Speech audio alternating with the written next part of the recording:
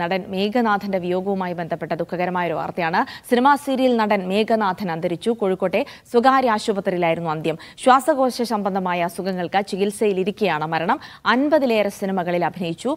സംസ്കാരം ഉച്ചയ്ക്ക് രണ്ട് മണിക്ക് ഷൊർണൂരിലെ വീട്ടുവളപ്പിൽ നടക്കും. നടൻ ബാലൻ കെ നായരുടെ മകനാണ്. മുഹമ്മദ് ഷംസീർ വിവരങ്ങൾ നൽകാനായി ചേരുന്നുണ്ട്. ഷംസീർ ഒരു വിയോഗ വാർത്ത വളരെ ദുഃഖം തരുന്ന ഒരു വിയോഗ വാർത്ത പ്രത്യേകിച്ച് മേഘനാഥനെ കുറിച്ച് ഓർക്കുമ്പോൾ അദ്ദേഹം അഭിനയിച്ചു ഫലിപ്പിച്ച അനേകം വില്ലൻ വേഷങ്ങളുണ്ട്. അതൊക്കെ തന്നെയാണ് ഓർമ്മയിൽ വരുന്നത്. എങ്ങനെയാണ് അദ്ദേഹത്തിന്റെ മരണം? മറ്റ് വിശദാംശങ്ങൾ എന്തൊക്കെ? ജിൽസി ഇന്ന് പുലർച്ചെ രണ്ട് മണിയോട് കൂടിയായിരുന്നു നടൻ മേഘനാഥൻ അന്തരിക്കുന്നത്. കോഴിക്കോട് ബേബി മെമ്മോറിയൽ ആശുപത്രിയിൽ ചികിത്സയിലായിരുന്നു. ശ്വാസകോശ സംബന്ധമായ രോഗത്തെ തുടർന്ന് അവിടെ ചികിത്സയിലായിരുന്നു. ഈ മാസം ആറാം തീയതി മുതൽ ആശുപത്രിയിൽ ഉണ്ട് എന്നാണ് നമുക്ക് ലഭിക്കുന്ന വിവരം. ഇന്ന് പുലർച്ചെ രണ്ട് മണിയോട് കൂടി അന്ത്യം സംഭവിക്കുകയായിരുന്നു.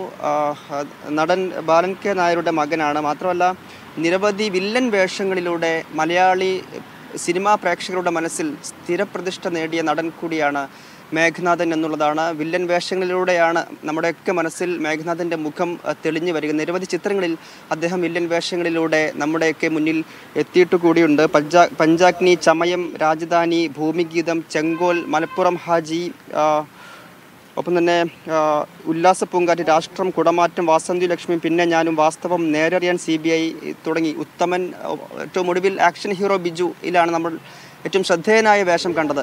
ഞാൻ വായിച്ച ഈ ചിത്രങ്ങളിലെല്ലാം വില്ലൻ വേഷങ്ങളിലൂടെയാണ് ശ്രദ്ധേയനായതെങ്കിൽ ആക്ഷൻ ഹീറോ ബിജുവിൽ നമ്മുടെയൊക്കെ കണ്ണീരണിയിച്ച വ്യത്യസ്തമായൊരു വേഷത്തിലൂടെ അദ്ദേഹം ശ്രദ്ധേയനാവുക കൂടി ചെയ്തിരുന്നു. ആയിരത്തി തൊള്ളായിരത്തി എൺപത്തി മൂന്നിൽ പുറത്തിറങ്ങിയ അസ്ത്രത്തിലൂടെയാണ് അദ്ദേഹം ആദ്യമായി സിനിമയിലേക്ക് എത്തുന്നത് ഒരു സ്റ്റുഡിയോ ബോയ് ആയിരുന്നു ആ ചിത്രത്തിൽ അദ്ദേഹം വേഷം ഇട്ടിരുന്നത്. അതിനിടയിൽ അൻപത് അൻപതോളം ചിത്രങ്ങളാണ് ഇതുവരെ അദ്ദേഹം ചെയ്തിട്ടുള്ളത്. അതിന് അതിനിടയിൽ തന്നെ നിരവധി തവണ ഇടവേളകൾ കൂടി സിനിമാ ജീവിതത്തിൽ അദ്ദേഹത്തിന് ഉണ്ടായിട്ടുണ്ട്. നമ്മൾ വലിയ വില്ലൻ വേഷത്തിലും ഒരു ഒരു വില്ലന്റെ രൂപത്തിലൊക്കെയാണ് അദ്ദേഹത്തെ കാണുന്നതെങ്കിൽ കൂടി ജീവിതത്തിൽ വളരെ ലളിതമായി ജീവിച്ചു പോന്നിരുന്ന വ്യക്തി കൂടിയായിരുന്നു അദ്ദേഹം. അദ്ദേഹം ഒരു കർഷകനായിരുന്നു എന്നുള്ളത് പലർക്കും അറിയാത്ത ഒരു കാര്യം കൂടിയാണ്. അദ്ദേഹം ഒരു ഇന്റർവ്യൂവിൽ പറയുന്നുണ്ട് താൻ ആദ്യമായി സമ്പാദിച്ച പണം കൊണ്ട് വാങ്ങിയ വാഹനം അത് ട്രാക്ടറാണ്. അങ്ങനെ അങ്ങനെ ഒരു മറ്റൊരു ജീവിതം കൂടി മേഘനാഥനെ സംബന്ധിച്ചിടത്തോളം ഉണ്ടായിരുന്നു. അതായത് മലയാള സിനിമാ പ്രേക്ഷകരെ സംബന്ധിച്ചിടത്തോളം ഏറ്റവും വലിയ ഒരു നഷ്ടം എന്ന് തന്നെ വിളിക്കാവുന്ന ഒരു കാര്യമാണിപ്പോൾ ഉണ്ടായിരിക്കുന്നത്. കാരണം വില്ലൻ വേഷങ്ങളിൽ നമ്മുടെയൊക്കെ മനസ്സിൽ ഒരു വില്ലൻ എന്ന നിലയിൽ ഏറ്റവും ക്രൂരനായ മുഖം നമ്മുടെ മനസ്സിലേക്ക് തെളിഞ്ഞു വരുന്നുണ്ടെങ്കിൽ അത് അദ്ദേഹം അഭിനയിച്ചു ഫലിപ്പിച്ച ചിത്രങ്ങളുടെ കഥാപാത്രങ്ങളുടെ ഒരു ഫലം കൂടിയായിരുന്നു. ആ തരത്തിൽ വലിയ തോതിൽ മലയാള സിനിമാ പ്രേക്ഷകരെ തന്റെ കഥാപാത്രങ്ങളിലൂടെ പിടിച്ചിരുത്തിയ ഓർമ്മകളിൽ കുടിയിരുത്തിയ വ്യക്തി കൂടിയാണ് മേഘനാഥൻ. അദ്ദേഹം രണ്ട് മണിയോട് കൂടിയാണ് അന്തരിച്ചത്. ഷൊർണൂരിലാണ് അദ്ദേഹത്തിന്റെ വീട്. അദ്ദേഹം അങ്ങോട്ടേക്ക് മൃതദേഹം കൊണ്ടുപോയിട്ടുണ്ട്. രണ്ട് മണിയോട് കൂടി അതായത് ഷംസീർ അദ്ദേഹം പാലക്കാട് അദ്ദേഹം. ഷൊർണൂറാണ് അദ്ദേഹം കുടുംബവും ഒക്കെ സെറ്റിൽ ചെയ്തിരിക്കുന്നതെന്ന് അറിയാം. അപ്പോൾ എങ്ങനെയാണ് ചികിത്സ കോഴിക്കോടായിരുന്നു?